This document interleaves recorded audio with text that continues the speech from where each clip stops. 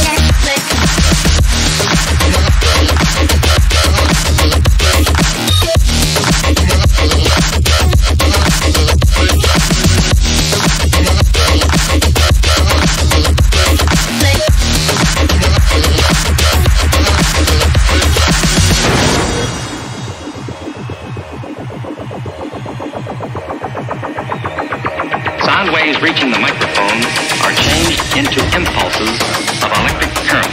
No need to worry about your pre-recorded music tapes being accidentally erased.